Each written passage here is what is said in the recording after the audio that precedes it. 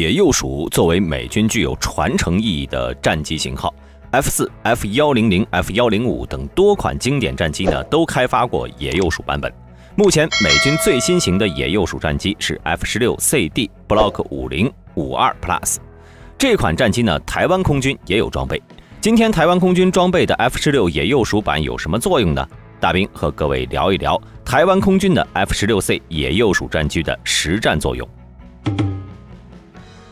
野鼬鼠战术最早是由越战中的美国空军提出的，主要是由某些装备了电子对抗设备和反辐射导弹的飞机执行任务，通过攻击敌方引导防空导弹的雷达，压制敌方防空系统，从而保护己方轰炸机。而野鼬鼠战机则是对执行 SEAD 压制敌方防空武器任务飞机的一种称呼。自越南战争以来呢，美军分别有 F 四、F 幺零零、F 幺零五等战斗机充当过野鼬鼠的角色。一般情况下，这种战机呢不会独立作战，而是伴随着空袭机群一同出动，为己方战机扫清前进路上来自敌方防空导弹的威胁。二零零四年获得台湾空军模范连队的空军第五战术混合联队二十六作战中队，顺利成为了台湾首个配发反辐射导弹的战略攻击单位。二十六作战中队是台湾的王牌空军，由于队徽是一个骑着扫把的女巫，因此又被叫做“女巫中队”。根据建军日程，曾于二零零六年完成反制作战的训练任务，也就是说，第二十六中队将可执行跨海攻击任务。而担任这种任务的战机呢，也就是被美国称之为“野鼬鼠”战机。其实，从一九九七年开始，一些美国的航空摄影爱好者就发现了台湾空军的飞行员曾经在美国卢克空军基地受训。这些爱好者发现卢克空军基地特有的 F 十六野鼬鼠战机机身上印有台湾空军的军徽，因此当时的一些军事专家猜测，台湾军方除了购买一百五十架的 F 十六 A B Block 二零外呢，可能也是买了一批型号为 F 十六 C Block 五零的野鼬鼠战机。只不过这批数量大约四架的战机，起初一律由美方代管，并未回到台湾加入到空军机队阵容。直到美国在2001年同意出售哈姆反辐射导弹以及相关套件，受训空军完成接收准备，并将训练计划完成之后呢，又在2002年，美国针对部分 F 十六进行了系统升级，将任务计算机中的射线软件进行了解密，让台方飞行员能进行仿真训练。才顺利加入到台湾空军的机队阵容。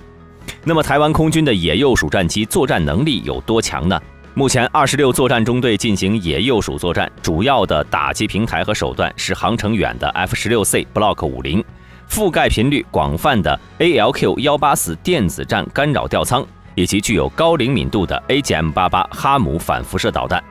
提及 F 十六，想必各位朋友都不陌生。它作为一款轻型战斗机，其外形是从五十多种方案中挑选而出的，采用悬臂式的中单翼，平面几何形状为切角三角形，前缘有随迎角和飞行速度的变化而自动下偏改变机翼弯度的襟翼。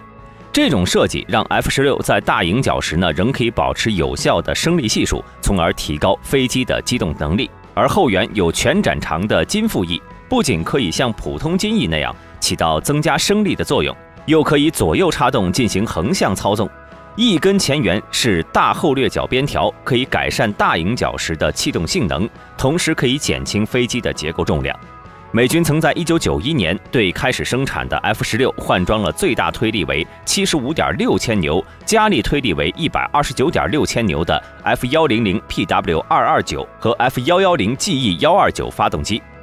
但是根据资料显示，台湾空军使用的 F 十六装配的还是通用动力公司的 F 幺幺零 GE 一百涡扇发动机，虽然最大推力只有七十三点六千牛，但是也是足够用了。且不说美国发动机可靠性高的优点，单凭油耗低，就使空重才七吨的 F 十六拥有了超过三千八百公里的最大航程。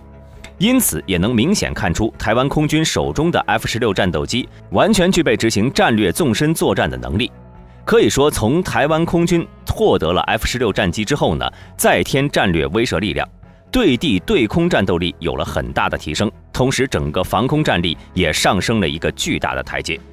值得一提的是，有资料显示，台湾空军的 F 十六 AB Block 二零还获得了美制的 ALQ 幺八四电子战吊舱和蓝盾低空导航红外跟踪系统的外销型，神射手 AAQ 幺四和探路者 AAQ 幺三吊舱。其中外销版的神射手 AAQ 幺四虽然没有攻击功能，但是呢，探路者 AAQ 幺三却让台湾空军的 F 十六具备了夜间低空飞行能力。不过这两款吊舱呢都不是重点，重点在于对美国而言，台湾空军是第一个获得了 ALQ 幺八四电子战吊舱的海外客户，而 ALQ 幺八四是一种高性能、自动化、多波段，能够进行干扰频率调整的一款多功能电子战对抗吊舱。除了能够直接对敌方导弹雷达导引头或者是制导雷达发射杂波干扰外，还能通过电磁波直接侵入敌导弹雷达导引头。或者制导雷达的电路中，使其计算错误，丢失目标。目前驻防美国本土的 F 十六战机，大多数都装备了 ALQ 幺八四型电子对抗吊舱，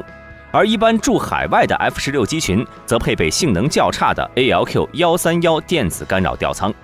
这款吊舱呢，只能保护执行任务的 F 十六机群，可对打击目标可能部署的防空系统实施欺骗和干扰，保证这些高危险机群能够安全出入。至于 AGM-88 哈姆反辐射导弹是美军现役的空对地反辐射导弹，用以取代越战时期的 AGM-45 百舌鸟与 AGM-78 标准反辐射导弹，采用超音速巡航，射程大于十六公里，通过被动雷达寻地制导系统，导引头可以自动跟踪敌方雷达波，来毁坏敌方装备有雷达的防空系统。可以有效压制、摧毁地面和舰上的防空导弹系统的雷达和高炮控制雷达。美军在伊拉克战争中呢，曾大量使用这款反辐射导弹，对伊军重点目标和防空雷达部队实施了精确打击，干掉了大量的伊军防空武器。而最近的俄乌战争呢，乌军米格二九战机曾超低空穿越俄军雷达探测区域和俄军战机巡逻区。在海上向俄军的 S 四百导弹阵地发射了美国援助的 AGM 八八，成功摧毁俄军 S 四百配套探测距离七百公里的 NUBU 米波远程预警雷达系统。据了解，AGM 八八的引导头可以覆盖百分之九十八以上的已知雷达频段。目前就空军的作战形态和作战任务来分类呢，大概可以分为反制作战、进阶支援作战。阻绝作战、战场制空权及战术补给等五大任务。然而，以台湾空军的战略观点而言，无疑反制作战才是最重要的任务。所谓的反制作战，就是先让一步，而后伺机反攻的作战战术。二战期间的中途岛战役就是反制战术作战的典范。一九四二年六月四号，美日双方在中途岛附近海域进行了一场激烈的海战。在这场战役中呢，美军采用后发制人，成功的实施了反制作战，从被动中转为主动。咱们上面提到，台湾空军的二六作战中队曾在美国卢克空军基地受训，显然透露出这样一个信息啊，那就是台湾军方不仅仅只是关注攻击主体的兵力，开始注重辅助兵力、掩护兵力的训练了。而这个训练现如今呢，可能已经进入到很细层次的每一个基础训练了。按照台湾空军装备的 F 十六来看，二六作战中队野鼬鼠战机的作战半径应该与其相差不大，可以达到近九百公里的作战半径。目前台湾空军还没有装备空中加油机，如果装备了加油机，那么将大大增强二十六作战中队野鼬鼠战机的作战半径以及其余 F 十六的灵活性。此外，即使买不到空中加油机，也别忘了 F 十六可以通过加挂保型副油箱增加航程。例如，以色列和日本都曾经为 F 十六开发出了两千七百二十八升的超大油箱，最多可以将作战航程增加百分之四十左右。而这些油箱呢，在国际军火市场上都是可以买到的。好了，今天视频就到这里，各位朋友对此有什么看法呢？欢迎留言讨论。你想看的也是我想要了解的。我们下期视频再见。